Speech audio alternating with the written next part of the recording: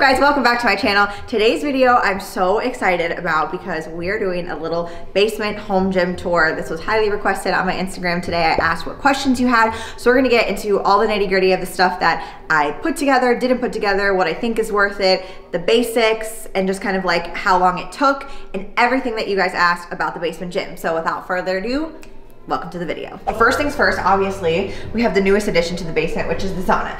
The brand of this is called Sunlighten, and the model is the um, M-Pulse Aspire. It's a one-person sauna, and I will go ahead and link everything that I'm talking about in today's video in the description box so you can check it out. This is not sponsored. I pay for this with my own money. But let me tell you, an infrared sauna is legit. Like, I think this is just the coolest thing ever. There's so many different features. I'm gonna show you the inside of it, but I also kind of wanna talk about some of the things that were a pain. As you can see, this is made out of wood and it's very, very heavy. This is almost 500 pounds and it took two people, myself and Austin's best man, Ben, four hours to put this together.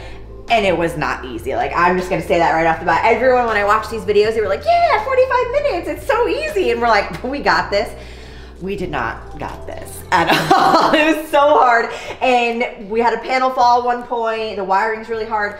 A couple of things to notate with this sauna. Um, the instructions were kind of crappy, honestly, for the price that this sauna is.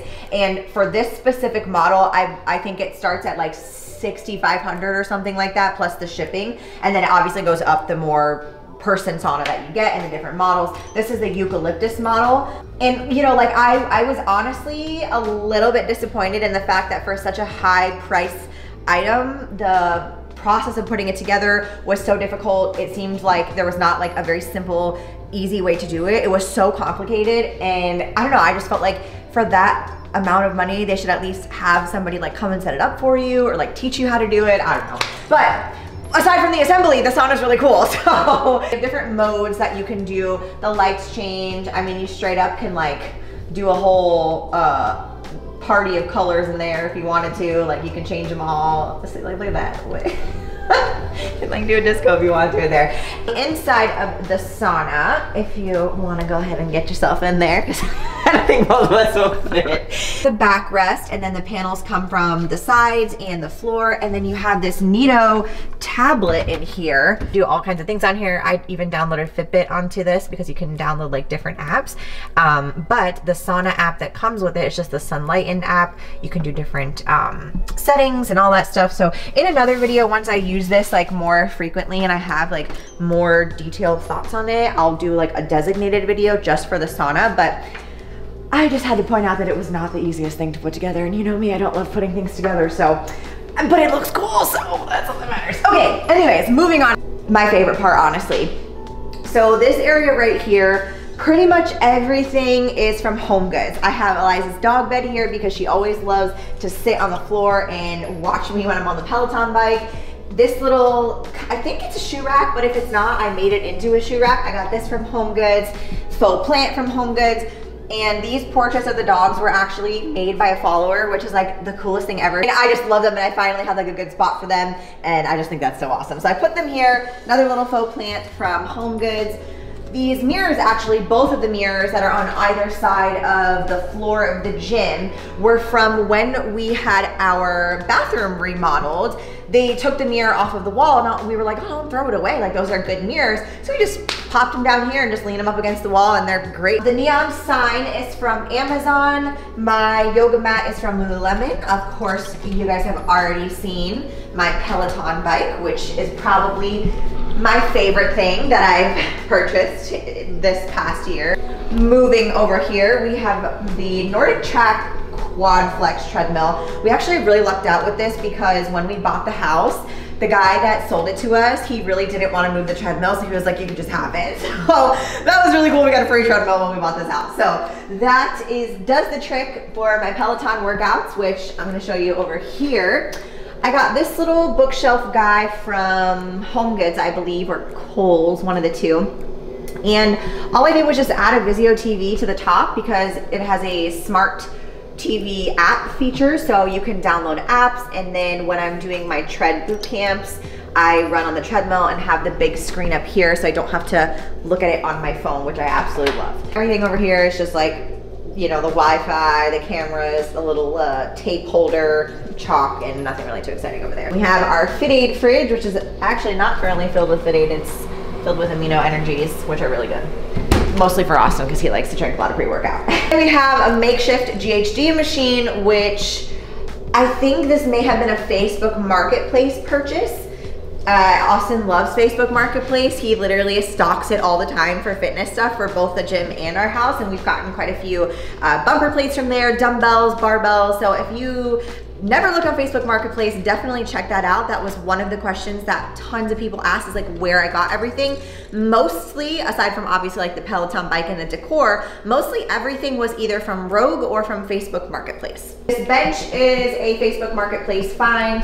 However, the dumbbells that we have, mostly the hexagon ones are from Rogue, and then these little different 25 pounds and 45 pound guys, I believe are also from Facebook Marketplace.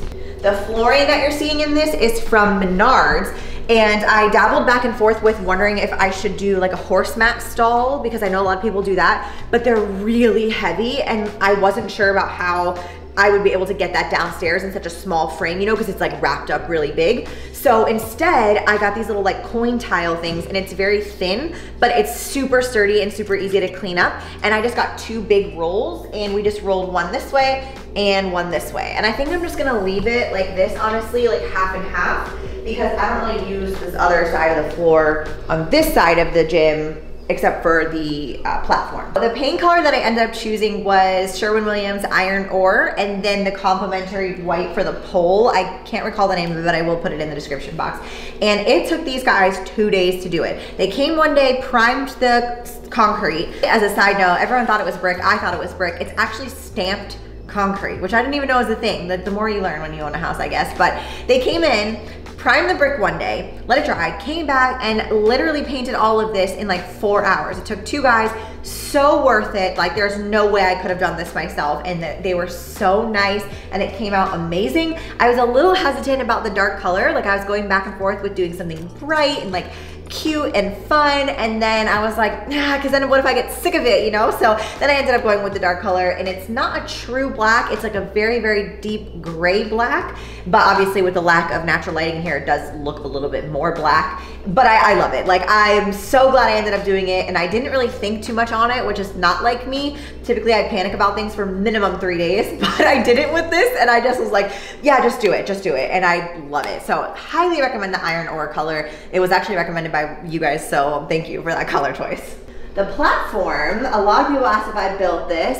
Hell no, I did not build this. I could not imagine myself building a platform. I could literally barely put together something with instructions. So this was a Facebook Marketplace find. Somebody built that themselves I mean, all the power to these people who can build this kind of stuff because I think it's so awesome. But this was so hard to get downstairs, like extremely heavy.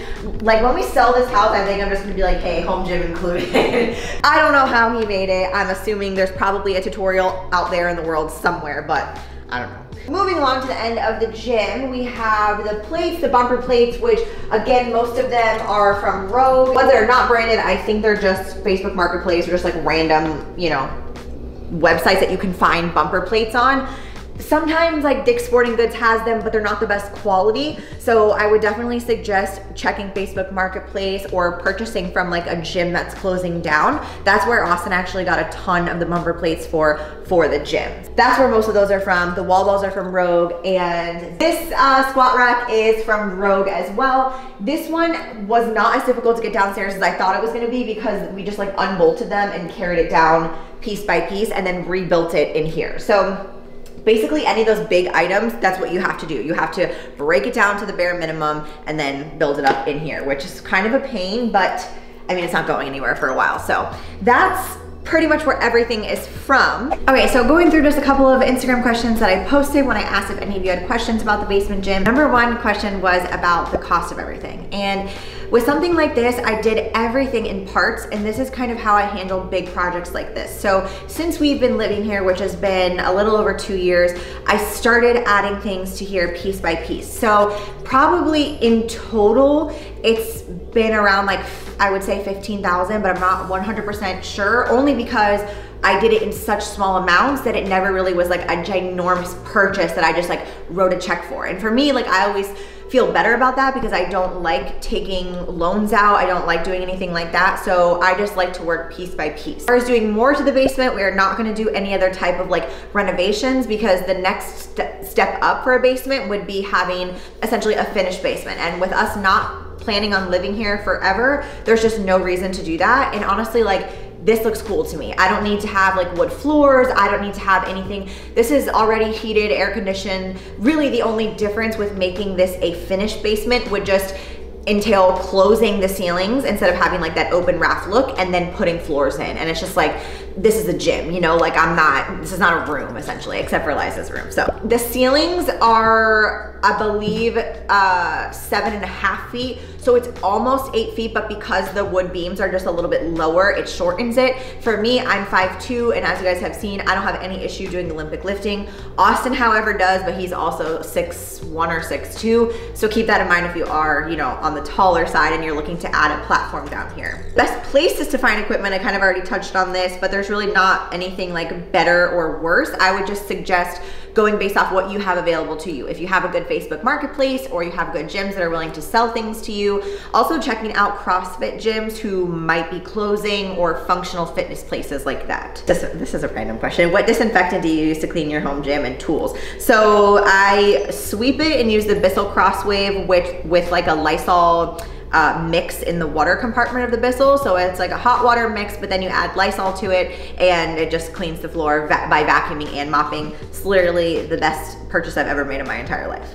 Oh, someone asked why I'm not working out at Austin gym. Okay, I am still, but hear me out. The reason I started getting like really into renovating this basement was the winter. This past winter was really, really hard on me and I got like just really not wanting to leave the house. The seasonal depression was so bad for me this past winter and I just really had a hard time leaving and going to the gym. It's so cold in his gym because it is a warehouse gym. It's not, I mean, it's heated, but it's not the same. Like you don't have heaters blasting on you. So it's really uncomfortable for me. And during the winter time, I just didn't find myself going as much. I still go, I still go to do the workouts. Right now we're in the open, so doing open workouts. Um, but I just, for me with the Peloton bike and everything here, it just I've just been enjoying working out in the basement. It's not that I'm not going to the gym.